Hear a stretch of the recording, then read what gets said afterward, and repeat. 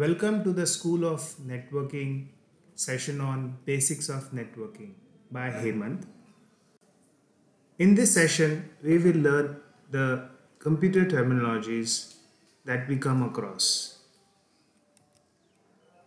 What is computer network? So computer network is a collection of nodes or computers that are connected for communication to share resources and information with each other. What is client? Client is a node that requests for a service or a resource. What is server? Server is a node that provides the service or the resource. Next, what is collision? In a shared media, when two or more nodes send data simultaneously on the wire resulting in accident is referred as collision. So when we say shared media, it is a media where you can either send or receive data. What is collision domain?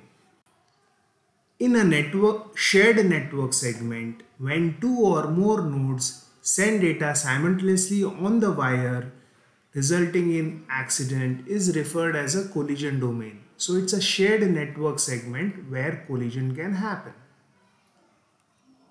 Next, what is broadcast? When one node send the data and all other nodes receive and process it is referred as a broadcast. That is, it is one-to-all communication. What is broadcast domain? In a network segment, when one node sends the data and all other nodes receive and process it is referred as a broadcast domain. So it's a network segment where broadcast can travel up to. So thank you very much. If you like, please share and subscribe to our YouTube channel. Thank you.